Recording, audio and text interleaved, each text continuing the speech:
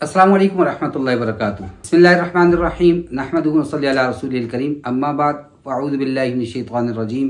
बिस्मिल्लाहिर्रहमानिर्रहीम। इदा जाअ नस्रुल्लाहि वल फतह। अफ़वाजा। फसब्बिह बिहम्दि रब्बिका वस्तगफिरहु इन्नहु वक़ाल तबारक व तआला व अम्मा बिनिअमति रब्बिका फहद्दिस सदक़ल्लाहुल अज़ीम 14 अगस्त आने वाली है और हर तरफ़ चेहरों पर खुशियाँ दमक रही हैं। होना भी चाहिए। अल्लाह ने एक बहुत बड़ी हमें नेमत अता की। इकबाल का ख्वाब था, जिसको मोहम्मद अली जनाह के ज़रिए अल्लाह तबारक व ताली ने ताबीर अता फरमाई। और हमारे ने और हमारी आवाम ने, मुसलमानों ने कुर्बानियाँ दी और उनका खून रंग लाया। और आज हम एक आज़ाद मुल्क में सांस ले रहे हैं। आज़ादी के साथ अपनी इबादत करने में हम आज़ाद हैं। अल्हम्दुलिल्लाह, खुशी चेहरों से नज़र आनी चाहिए। चेहरे खुशी से दमक रहे हों। अब बाज लोग ये कहते हैं, जैसे ही चौदह अगस्त आती है, कल भी एक ने पूछा तो चाह कि आपके साथ भी शेयर कर दें कि चौदह अगस्त के मौके पर कोई तकरीब करनी, चौदह अगस्त के मौके पर कोई जलसा मुनद करना, खुशी मनानी, क्या ये दुरुस्त है या गलत है? क्या शरीयत में कहीं ऐसा मौजूद है ऐसा कोई मौका जिस पर खुशी मनाई गई हो, या अगर नहीं है तो फिर ये खुशी ना करने की वजूहत को सामने लाया जाए। तो हमारा मौजू चौदह अगस्त और इस दिन की खुशी मनाना, ये आज का हमारा मौजू है। क्योंकि सवाल तो ये है कि बाज़ कहते हैं मनानी चाहिए, बाज कहते हैं नहीं मनानी चाहिए। तो इस ज़िमन में अर्ज़ करने से पहले थोड़ा सा एक मुकदमा समझ लीजिए। कुछ बातें। पहली बात, अल्लाह तबारक व ताली ने जब नियामत अता की है और अल्लाह ने फरमाया इन शकर तुम लाजीदन्नकुम। नियामतों के मुतालिक फरमाया, अगर तुम शुक्र अदा करोगे, इस नियामत में मैं मजीद बढ़ोतरी करता जाऊँगा। आप सल्लल्लाहु अलैहि वसल्लम मदीना में तशरीफ़ लाए, यहूदियों को देखा, योम तशक्र के तौर पर दस मुहर्रम योम आशूरा का रोजा रख रहे हैं कि इस दिन मूसा सलाम को और उनके मानने वालों को, बनी इसराइल को फिर से अल्लाह ने निजात दे दी।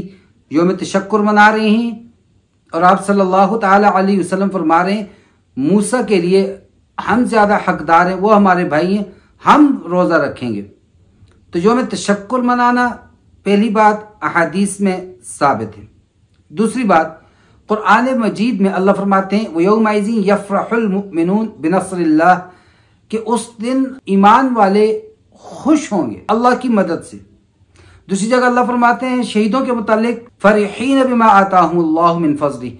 अल्लाह जो उनको रिस्क अता फरमा रहे हैं, उस पर वो खुश हैं। खुशी करना शरीयत की हदूद में, शरीयत के अंदर रहते हुए, जवाबत के अंदर रहते हुए, कवायद के अंदर रहते हुए बिल्कुल दुरुस्त है। कहीं पर भी मना नहीं है। आगे चलिए, क्योंकि ये मुल्क एक अल्लाह की अता करदा नियामत है। सताईस रमज़ान को अल्लाह तबारक वाली ने दिया। तो इस पर अल्लाह की नियामत का शुक्र अदा करें। और शुक्र अदा करने का एक तरीका और भी है। वो क्या है? कि नेमत का असर नज़र आना चाहिए। जन्नतियों के मुतालिक अल्लाह फरमाती हैं, तारिफ फ़ी वजूहिम नगरतन नाइम नेमतों का असर उनके चेहरों पर मुखातिब तू पहचान लेगा। चेहरों से खुशी दमके रौनक हो, मज़ा आए, आपको देख के पता चले कि खुशी है। और अल्लाह की नियमतों का शुक्र एक ये भी है कि आदमी बतौर तहदीस नियमत के लोगों को बताता फिरे। खुद अल्लाह आप सल्लल्लाहु अलैहि वसल्लम को सूरत के अंदर अपने इनामत और एहसानात जतला कर फिर हुक्म क्या दे रहे वह अम्मा बिनियमत रबी का फहदिस और बहरहाल अल्लाह रब्बुल इज़्ज़त ने आप पर जो अपनी नेमतें की हैं, उनको आप बयान फरमाइए। तो अल्लाह की नेमतों का एक शुक्र ये भी है कि आदमी उन नेमतों को दूसरों को बताए। बताने का क्या तरीका है? ज़ाहिर सी बात है, सोशल मीडिया है हम मकामी तौर पर जलसा कर सकते हैं। कोई भी ऐसा काम करके हम अल्लाह की नियामत को इज्तमाही तौर पर आगे बयान कर सकते हैं। बेआनी ही अपने महासिन को, जिन लोगों ने हमारे साथ एहसान किया, उनके एहसान को बयान करना। ये भी शरान मतलूब महमूद है। आप सल्लल्लाहु अलैहि वसल्लम के चचा हज़रत अब्बास रज़ी अल्लाह तु से सवाल किया गया, आप बड़े हैं? या आपके भतीजे जनाब मोहम्मद रसूलुल्लाह सल्लल्लाहु अलैहि वसल्लम। अब ये देखिए अल्लाह तबारक ने कुरान मजीद में ये भी फरमा रहे हैं कि तुम मेरी नियमतों का अहाता नहीं कर सकते। लेकिन नियमतों में से दो नियमतों का अल्लाह ने एहसान जतलाया। एक, लक़द मन्नल्लाहुमिन इज़बातफ़ीम रसूलम मिन अनफुसिम कि ये अल्लाह ने एहसान के ईमान वालों पर कि उन्हीं में से एक नबी को उठाकर भेज दिया, उनकी तरफ़ मबूस फरमा दिया। दूसरा एहसान बलिल्लाहदाकुम ईमान। कि ये अल्लाह का, बल्कि तुम्हारे ऊपर अल्लाह का एहसान है, अल्लाह ने तुम्हें हदायत अता फरमाई। गोया हदायत और साहिब हदायत, ये वो एहसान है जिसको अल्लाह ने जतलाया। हज़रत अब्बास रज़ी अल्लाह तु को इस बात का पूरा एहसास भी था, रिश्ते का भी पता था, लेकिन दूसरी तरफ़ अल्लाह की इस नियामत का भी पता था। वो जवाबन इर्शाद फरमाते हैं, उम्र में तो मैं बड़ा हूँ, पैदा होने में तो मैं पहले हूँ लेकिन मोहम्मद बड़े हैं। तो ये है उसकी कदर मंजरत। तो अब जिन, ज़ाहिर सी बात है, आप सल्लल्लाहु अलैहि वसल्लम तशरीफ़ लाए, आपने लोगों को हदायत की तरफ़ बुलाया, लोग जन्नत के हकदार हुए, इससे बढ़कर नेमत क्या होगी? तो इस नेमत को वो बयान कैसे फरमा रहे हैं? तो अपने मोहसनों का ज़िक्र करना, जिन्होंने हमारे लिए कुर्बानियाँ दी, जिन्होंने अपने सर कटवाए, जिन्होंने अपना खानदान शहीद करवाया, जिन्होंने मालो मता को छोड़ा, हिजरतें की जमीनें, जायदादें छोड़ी। तो उनकी, उनको याद करना इस तौर पर कि उसकी वजह से हमारे आइंदा नस्ल के अंदर जज्ब जिहाद पैदा हो, ज़रूरत और बहादुरी पैदा हो, कुर्बानियों को याद करके उनको एहसास हो कि ये ज़मीन पड़ी हुई नहीं मिली। इसके पीछे लोगों की कुर्बानी है। तो ये बायस सआदत है, अजर सवाब है। लिहाजा खुलासा कलाम। जिन चीज़ों ने से शरीयत ने मना किया, शादी ब्याह के अंदर जिन चीज़ों से मना कर दिया, खुशी का मौका है ईद के ऊपर जिन चीज़ों से मना कर दिया, वो हम अर्ज़ कर चुके खत्म कुरान के मौके पर जिन चीज़ों को नहीं करना, जो हमने कह दिया, जो चीज़ें भी इसराफ के अंदर आ रही हैं, फजूल के अंदर आ रही हैं।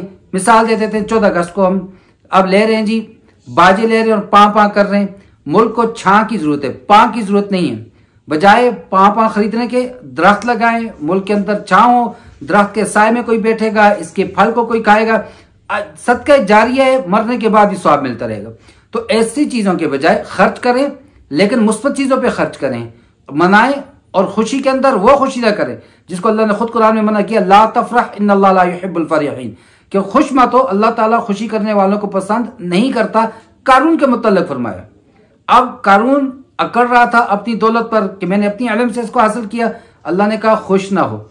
वो खुशी नहीं करनी जो शरीयत में मतलूब नहीं। मैंने पहले अर्ज़ कर दिया कि खुशी करनी है और अल्लाह की नियामत को बयान करना है। लिहाजा इस दिन अगर कोई जलसा कर रहे हैं और उसमें कोई फजूल खर्ची नहीं है, उसके अंदर कोई शरीयत के मुनाफी बात नहीं है, उसके अंदर रक्सो सुरूर की मजलिस नहीं हो रही, उसके अंदर ढोलक नहीं बजाया जा रहा, उसके अंदर आपने पैसे खर्च करके महँगे महँगे मेहमानान ग्रामी को नहीं बुलाया, बिल्कुल कर सकते हैं, जलसा भी कर सकते हैं, खुशी भी मना सकते हैं। और अगर इनमें से कोई एक चीज़ भी आ जाती है तो वो जलसा करना खुद गलत नहीं उस चीज़ की वजह से ये खराब होगी। दूध पा के एक कतरा भी उसके अंदर शराब का चला जाए, एक मन दूध के अंदर। अब दूध हराम हो गया।